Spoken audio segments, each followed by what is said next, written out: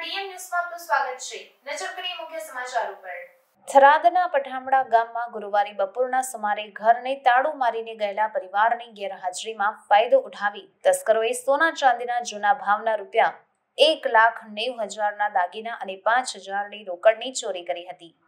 આગળના દિવસે પણ ગામના એક શખ્સને ત્યાં ચોરીનો પ્રયાસ થયો હતો. થરાદમાં ચાર રસ્તા નજીક શિવમ સેલ્સ નામની કમિશનથી દુકાન ધરાવતા સેન્દાભાઈ પરાગભાઈ પટેલ ગુરુવારે સવારના સાડા અગિયાર વાગ્યાના સુમારે થરાદ સ્થિત પોતાની દુકાને હાજર હતા.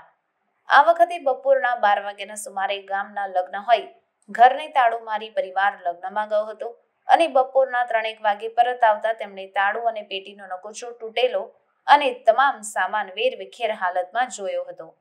આ અંગે બપોરે ત્રણેક વાગ્યાના સુમારે પત્નીએ ફોન કરીને જાણ કરતા ઘરે દોડી આવ્યા હતા. અને ઘરે દોડી આવેલા સિંધાભાઈએ તપાસ કરતા પેટીમાં પડેલ સોના ચાંદીના દાગીના ચેક કરતા તેમાંથી દોઢ કિલોના ચાંદીના કડલા અને પાંચસો ગ્રામ ચાંદીની ચોળ તથા અઢીસો ગ્રામ ચાંદીનું બલિયું, એક તોલાનું સોનાનું ફૂલ અને પેટીમાં પડેલ રોકડ રૂપિયા પાંચ હજારની ચોરી થવા પામી હતી.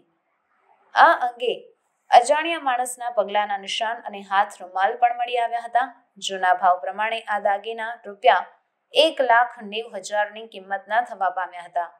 પોલીસે રૂપિયા એક લાખ પંચાણું હજારની ચોરીનો ગુનો દાખલ કર્યો છે. તેમજ બુધવારે ગામના કાંતિભાઈ કરસનભાઈ પટેલના ઘરે પણ ચોરીનો પ્રયાસ થયા હોવાનું જાણવા મળી રહ્યું છે.